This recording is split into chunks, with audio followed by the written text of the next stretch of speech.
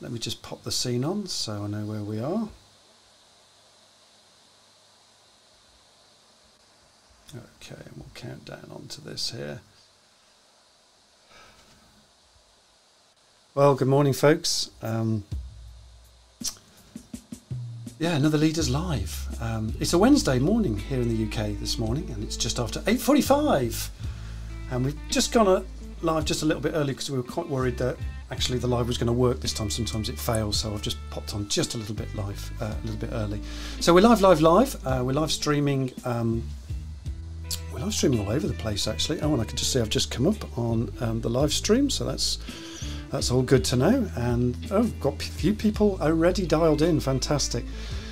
Uh, so we're live, live, live. We're streaming on. We're, I can't believe where we're streaming to. We're streaming on LinkedIn. We're streaming on YouTube. We're streaming on a couple of Facebook groups, on Twitter. Um, now, listen, we usually go live on a, on Tuesdays, but we've got a Wednesday today. Um, on my reserved day, just in case I can't do Tuesday, or I guess can't do Tuesday. And we've got, um, yeah, we've got Kate Young in the room today, speech um, therapy specialist. I'll come to Kate in a moment. So, um, and just enjoy the music as we're just counting down. And uh, yeah, we're just coming to the end of that now. So I'll just turn the music off, and there we go. So. Yeah, good morning, good afternoon, good evening. You know, wherever you are in the world, you know, welcome to this week's uh, Leaders Live Breakfast Show. We're just slightly, um, we're a day late today. I usually do Tuesdays, um, as you probably know, if those of you that are regular. But um, today was a Wednesday, so it's a Wednesday or a Tuesday, depending how busy I am and whatever, whatever else is happening in life. And listen, folks, we've got a great session this morning. This morning, I'm joined by speech and language uh, therapy specialist Kate Young. Good morning, Kate. How are you doing? Good morning. Very well, thank you. Hope you and your listeners are all well. Yeah, I, I hope so too. Um, we've got we usually have a lively crowd, so there's quite a few people joining at the moment. So that's that's great. I can see the live feed moving along. So please comment as you go along. I'll talk about that a lot all in a minute. Um, so Kate, just before we, we, I kind of move on to other stuff and come back to you again, you, have you got a friend with you today? Have you got Larry Larynx with you today? Oh yes, I have. I have my of my, my Larry Larynx. a real live model of our internal workings of our voice box and everything. So that'll be really interesting. Okay, I'm going to come back to you in a tick if you don't mind. So I'm just going to just just carry on with this. Um, so look, quick teaser for you folks. Listen, in the last 18 months, we have probably um, used our voice actually probably more than ever before. And it may surprise you, folks, that you know the online world of video communication, it really does take its toll on your voice uh, more than you might think, actually. And for some, you know, the acute effects of COVID as well. Um, they also have affected people's speech too for some people, and if we've got time, we might we might just touch on that um, because you know these are these are topical topics, right? Um, so today we're exploring um, a whole bunch of stuff around our voice. So, you know, how is your voice produced and why is your voice so important to your identity and your emotions and your presentation of yourself, your communication style with others and all of those things. So there's a lot more involved than just this, this talking box in our, in our throats. Um, why should you look after your voice and yourself to support your voice? What are the signs to look out for, folks, um, that suggest your voice is having problems and looking after your voice, especially when doing all this online calling stuff. Okay, so I can see there's likes coming up already. That's brilliant. Um, what equipment should we be using to protect and project our voice when we're doing so many online calls? I think that's really important, actually. So that's Kate this that uh, Kate has helped me with actually as well.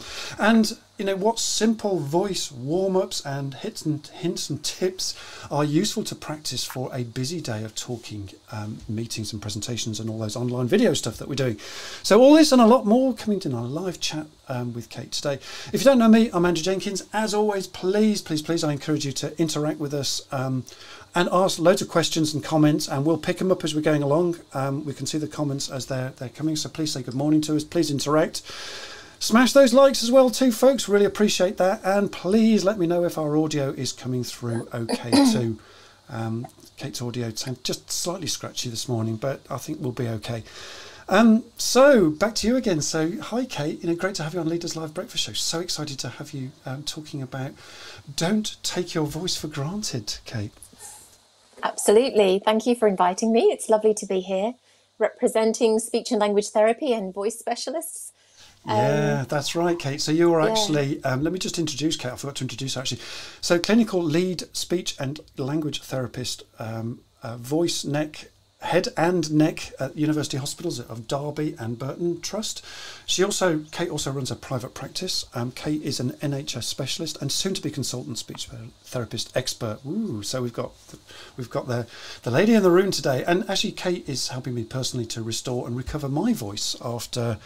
I got a little bit of nerve damage on one of my vocal cords that Kate pointed out to me. Um, uh, and it got damaged through um, just a simple virus that I caught way before COVID, actually. And um, yeah, Kate's been helping me with that. So, Kate, you know, um, I, I, know you've got a proper model that you've just introduced to us, uh, Larry Larynx, uh, to bring it to life, you know, to bring to life to us how our voice actually works. So let's start there, Kate. How does our voice actually work? Over to you, Kate. Well, yeah, thank you. So, our voice is part of our body. It's um, mm. produced by three basic things. I think Andrew's got some really nice photos to put up on the screen. Sure. So, when we when we produce voice, we need three basic things. We need a power supply, our breathing, which is supported by our body and torso. Yeah. We need a sound source, which is basically your vocal folds oscillating or vibrating, and you can see on the screen a bird's eye view of your vocal folds, mm. which are in the top photo open for breathing and in the bottom photo um, closed for speaking, swallowing, coughing, etc. But that that would be the normal position in the bottom photo for speaking. Um, it's it's a very lovely valve, so we use it for swallowing and it closes. So voice is power, sound, and then resonators. And resonators is everything from your vocal folds up to the tip of your nose and your lips, and all of that inside space makes wow. you sound like you and it helps you mm. project your voice, create character, accent, etc. So that's where your voice comes from. Three basic things. Here is Larry the larynx. It's a very big larynx. It's um, wow. these these vocal folds in there. I'm going to do some clever sort of um, lighting effects with my mobile phone. So this larynx Whoa. has got um, it's, it's it's a very good old friend. This one. Oh. So this this piece of bone here is in the top of your voice box. Right. This is yeah. your Adam's apple. And we yeah. all have one. It's just a lot more prominent in gentlemen. Okay. And then at the bottom of the larynx, you then have a windpipe. So we breathe okay. through your larynx into your windpipe. And when we look inside, you can see right behind your Adam's apple, light is shining, Oh, yeah. That is where your vocal oh, folds are. Yeah. Okay. So that's... when you go to the ENT doctors, yeah. that's what they see with their camera that goes through your nose and down to look at your throat. Yeah, it's a bit uncomfortable to have that there. And I was fascinated to see that live on screen and seeing my, my actual vocal cords as I was talking was just quite incredible. And they look just like that. So, uh, yeah. Yeah. So, yeah, we breathe in, we close our vocal folds, we breathe okay. out. The air runs between our vocal folds, a bit like a simple instrument. It creates oscillation at the level of the vocal folds, and then we shape that sound for sound quality and speech.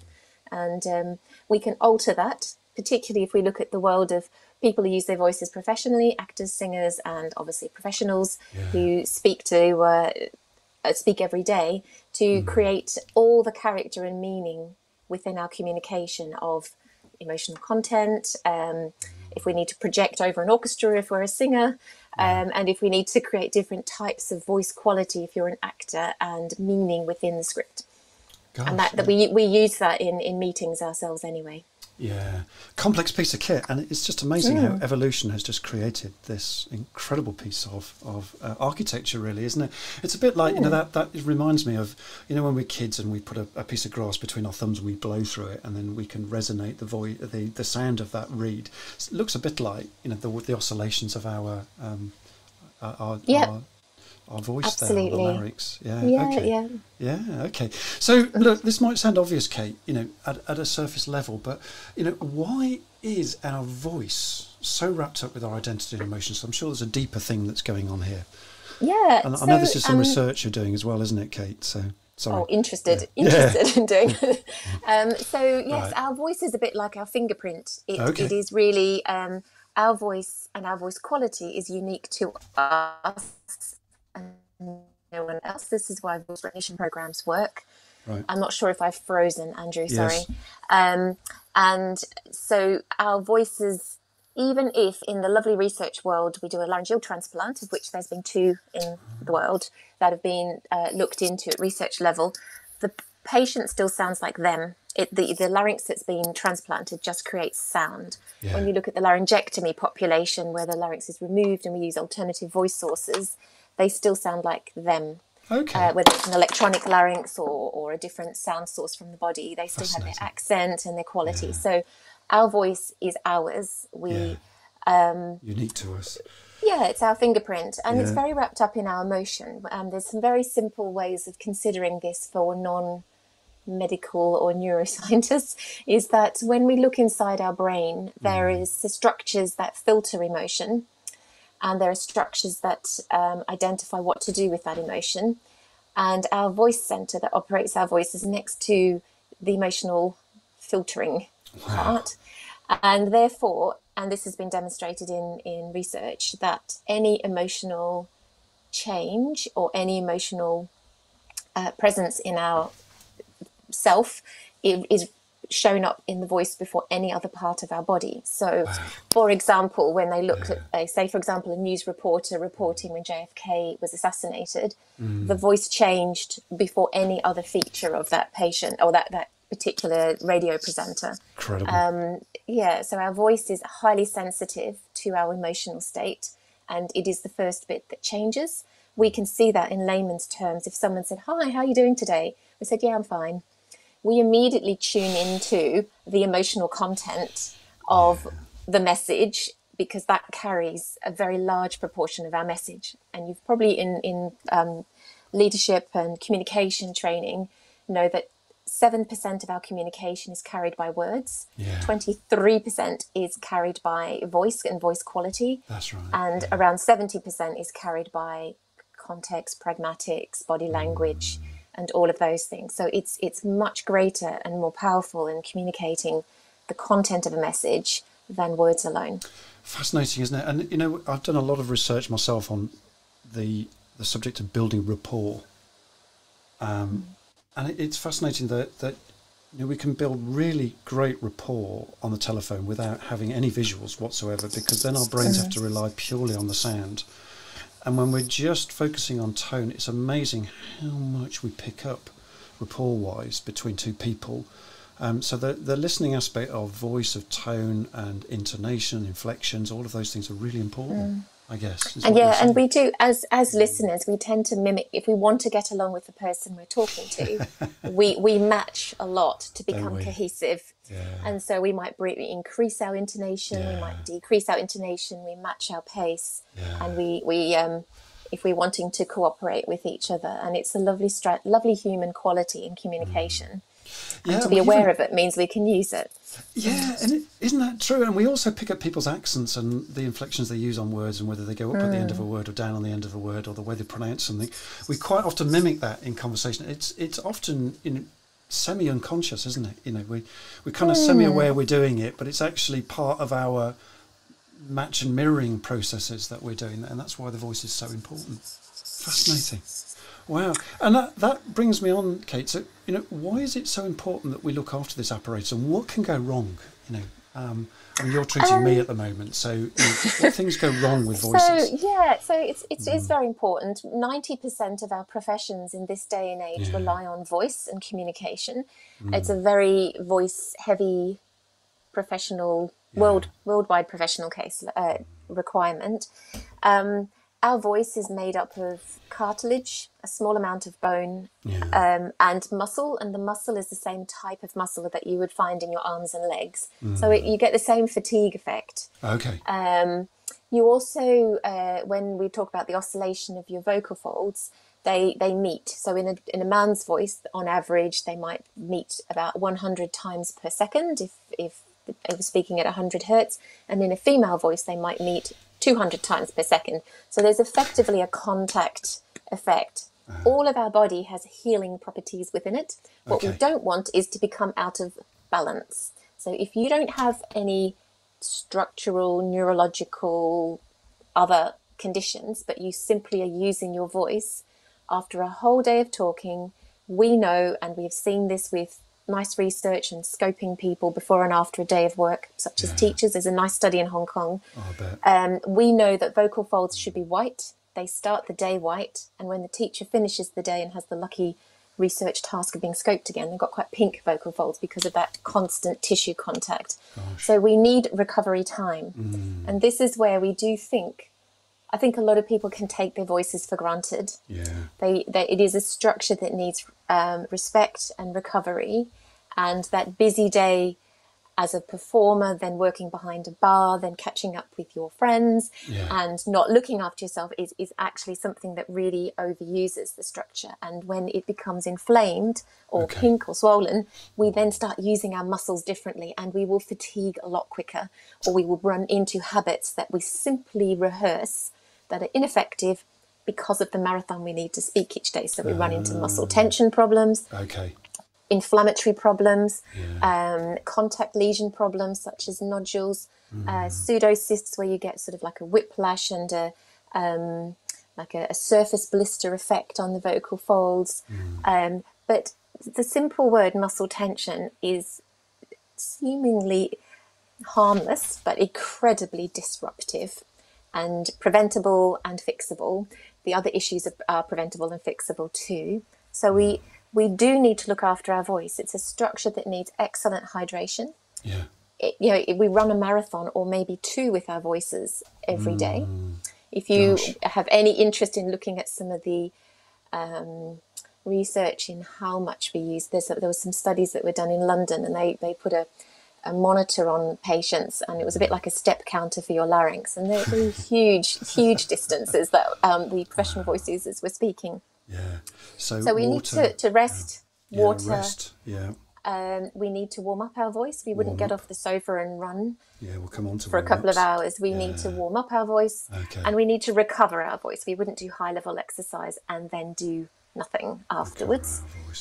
Voice. And we, it would be really healthy to pace the voice activities that you have throughout the day. If you've got meeting after meeting after meeting, uh, or presentation after presentation after presentation, that's a high level of challenge. It is. yeah, Um, and noticing it. considering, yeah, and considering the content of those meetings and what um, what additional things need to go with your communication for those meetings, such as it could be a highly stressful meeting, there might be complex things to communicate.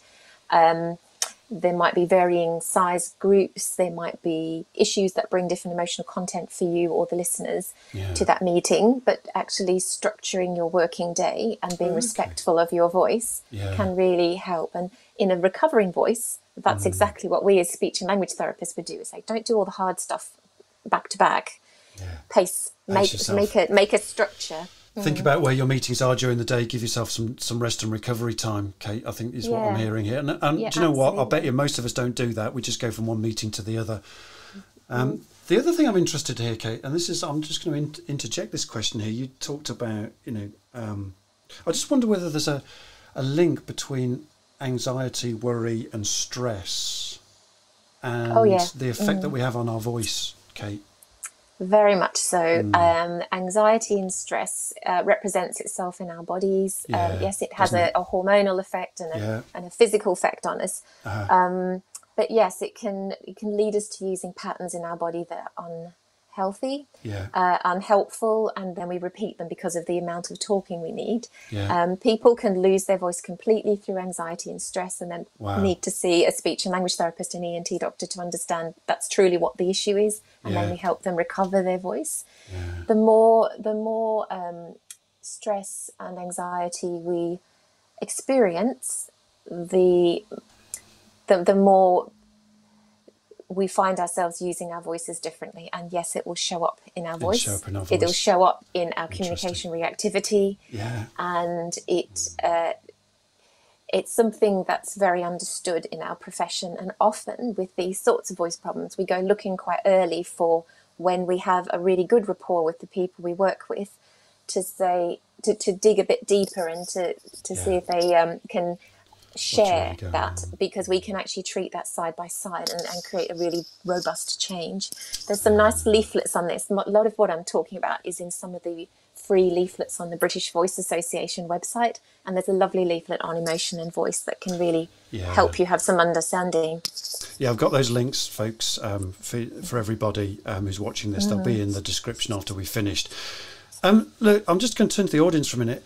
Um, you're remarkably quiet today. This is often not the case when we go when we go live. So, you know, please feel free to um, pop some comments in, some questions. If you put a Q in front of your question, that would help me to just fetch it out and see what's going on. So please, mm-hmm. you know, mm-hmm. interact with us. Um, ask Kate some questions as we're going along.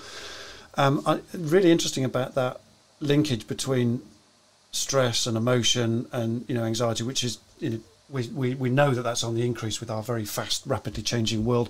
Are you noticing that you're getting more and more patients? Then is there a direct correlation to that that you're noticing? Yeah, yeah. absolutely. I don't think COVID's mm. helping. No, indeed, very um, interesting. So yeah, uh, yeah, it, it's mm. um, it's something we're needing to account for in the NHS and yeah. health services, and um, the nice thing about us being human beings is this is all part of us.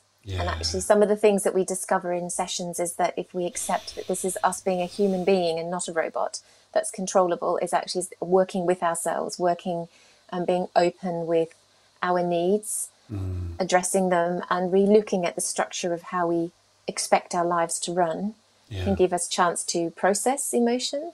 Yeah. Uh, to learn skills to process emotion. We're not put on this planet with every single coping skill we require and um, yeah. uh, we we need to respect that part of our humanness and um, and and self self care yeah. for our voice and self care for our um, emotional well being. And yeah. if we do that, we, we, we show that respect for ourselves, we show that respect for our colleagues and friends.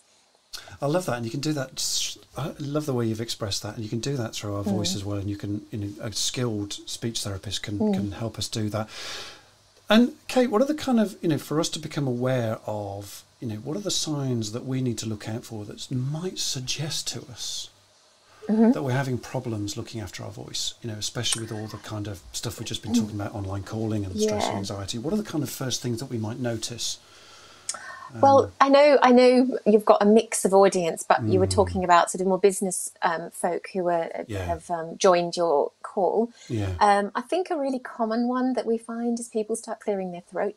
the voice doesn't sound ah, right yeah. and we start clearing our throat clearing that's our throat. that is quite harsh on our vocal folds you saw mm. them at the mm. beginning you get sort of a really big tissue movement and quite a whiplash effect okay and, re- and repetitive throat clearing often occurs when someone's got tightness yeah. in their throat dryness in their throat tightness, fatigue dryness. because it simply doesn't feel right so the first thing we do when our throat doesn't feel right is try and get rid of it. it. but actually it's my, it just remains so when you start picking up on yourself, or someone says, "Oh, you're clearing your throat quite a lot," or you hear yourself doing that in meetings, record a mm. meeting, listen back to yourself.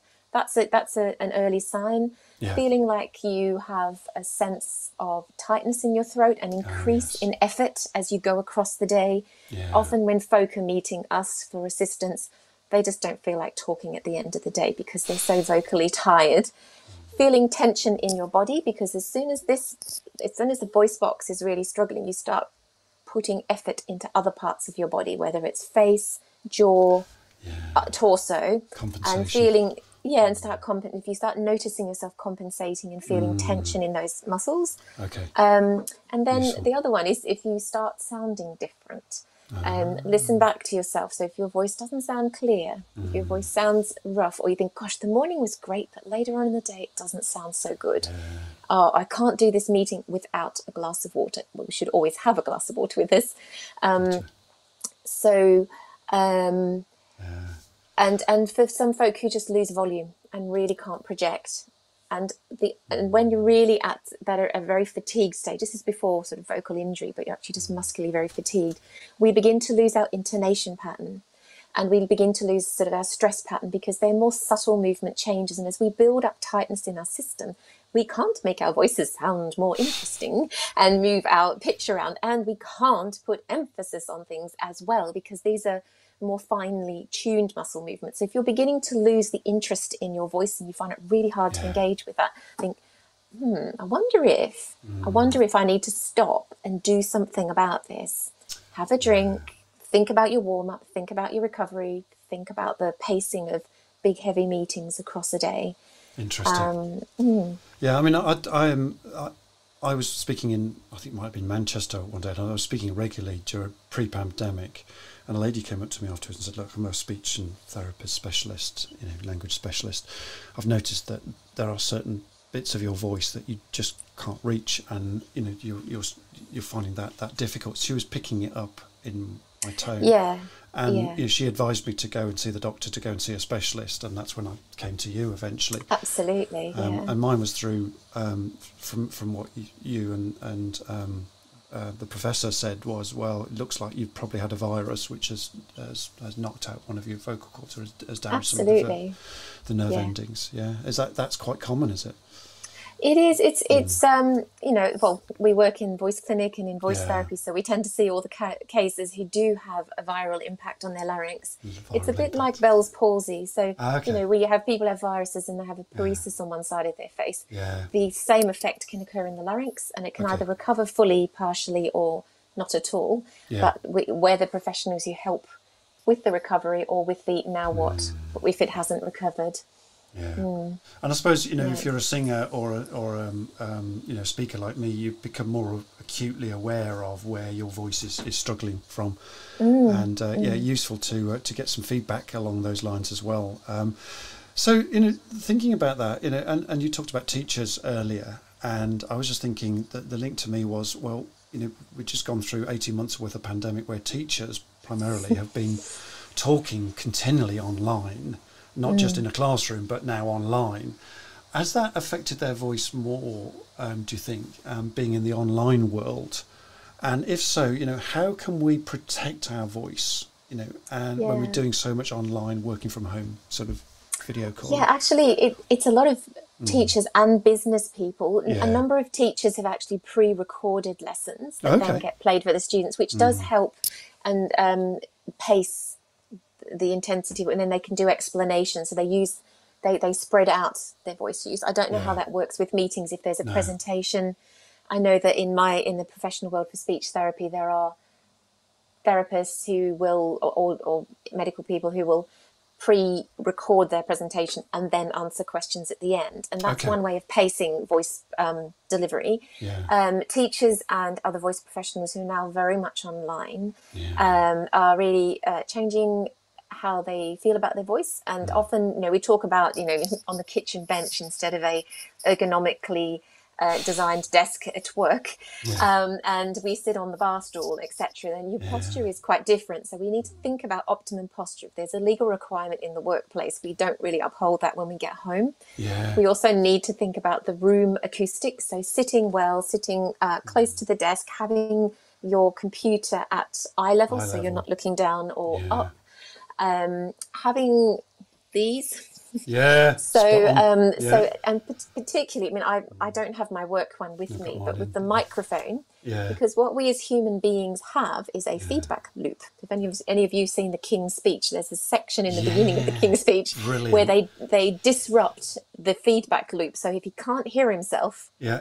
he can't stutter. But for the non-stuttering population of the world, we need to hear ourselves. If we've got our ah. music playing, we talk loudly to the next Yeah. person.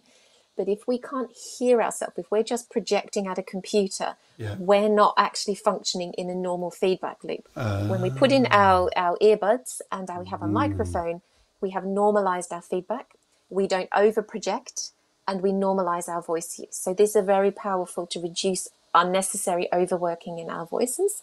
Um, there are some really good ones out there, and um, encouraging workplaces to supply them is great. Yeah. So the other thing is, you know, posture, thinking about what type of environment you're working in and the acoustic surroundings of that environment if you're working from home.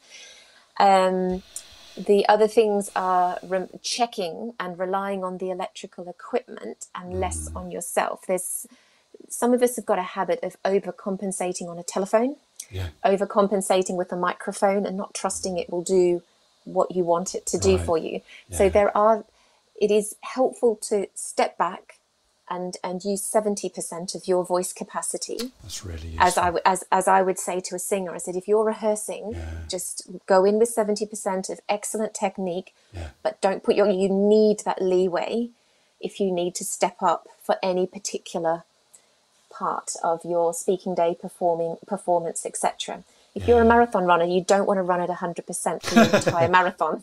So you need to choose where what you put in for that marathon. Okay. Um, it, I know there might be some voice specialists listening in, and they will probably yeah. describe this much better than me. But there are techniques for actually learning microphone use for performance, Yeah. and that's important to do that. So there's acoustic non non mic'd and and and mic'd technique. You know, and so we yeah we need to listen to our listeners and our so true. I mean, I've got I've got earbuds in now, and uh, just brilliant, and I can hear the feedback from the microphone, which is really handy. But when I haven't got that, you know, Sarah, my wife, will pick up and say, "Andrew, you're shouting in the microphone." So you know, actually, that's really useful to be more aware of that we haven't got often that feedback loop, which is why this equipment, like having a microphone, like I've got here, and uh, I'm, I'm just trying to push it up, but I can't. Uh, you know, and, and then you know, earbuds. You know, these are really important things to have, um, and they just make the session um, so much easier on your voice. Right. Okay. Thank you for that. So you know, so we're coming to the thirty-minute mark here. Um, so I'd like to sort of finish up with an important point for us personally to take away today. You know, what simple voice warm-ups, hints, and tips are useful for us to practice during a busy day to get that rest and recovery that you talked about, you know, and pacing our voice. Know, what are the kind of warm-up exercises? I know you've got a freebie at the end, to, and I'll, I'll put those all in the links of what to do. But what things can we do? Yes. So we need to um, consider. Okay, more importantly, okay, the first message I want to give is if your voice Mm. isn't right, go to your GP and ask for referral to ENT, but preferably Yeah. a voice clinic if your voice is really not performing well. The British Voice Association has got an, a list of local of voice clinics across the country. So Okay, do do consider asking for a referral if it is not right and you have concerns, and you will be um, assessed and looked after and given all the correct advice. But for a non a non um, uh, non disordered population, but you're trying to enhance what you're doing, we need Yeah. good hydration. Yeah. We need good relaxation. When we're allowed back out uh, into the real world, uh, a, a good back massage and, Yeah. and just Oh, taking the tension out is very, very useful. There or go, any of those self massage devices that are good for your neck your are neck. very, very useful. Yeah. Um, it's important to consider if you're taking medications such as inhalers to have excellent hygiene, so sipping water and clearing your throat afterwards. Yeah. If you notice any indigestion or heartburn, have Gaviscon Advance in your cupboard if you've had an Indian takeaway. Um, and make sure you take that regularly. And if it's not right, talk to your GP about it because Yeah. reflux is not good for your voice. No. And then looking, yeah, true. and then things like a nice um, wheat bag that you stick in the microwave and warm up, around your neck. and putting that around your neck and yawning when you're reading your emails oh. actually Yeah. Ah. is very relaxing. It helps the larynx drop. It helps your jaw relax. So And then- a big, a big, because you see singers do that, doing that with their voices. Yeah. Okay. Yeah. So some of the things that Mm. I was going to give you as some uh, some useful tips to take away is some Yeah. simple things you know how to do at home. Yeah. So gargling with your voice is Yeah. very very relaxing. The Ah, okay. position to do this in, so I've got my water here, Ah, is if I go sideways, you want to Yeah. take a small sip because you don't want to um, uh, drown yourself. yeah. Brilliant. Live demo, folks. Fantastic. So you've you've re- stretched these muscles. Ah, lovely. and you've Yeah. relaxed the back of your tongue and you've Yeah. relaxed your voice box. So doing a couple of those, like five, Mm. very relaxed, really loosens everything out. It's very useful. Um, sitting, uh, there's a straw exercise, hence I've got this. Yeah, there's a saw that video link that my colleague in Rotherham put on the internet. I haven't created one in time for this Oh, meeting. well, if you give me the link, I'll pop it in the description for people. Um, at. Absolutely, yeah. great, so thank you. Rachel has done a. Rich she's done it for her patients, but Yeah. um, she said I can use it. Oh. Um, and basically, it's a straw and Yeah. in a bottle of water, so it's not full. Yeah. You can get you can get these kind of wide straws off Yeah. Amazon. yeah it's a silicon one, somewhere. Yeah. and uh, Andrew knows all about this. And I, if I if I just show you, it's just really puffy cheeks, Yeah.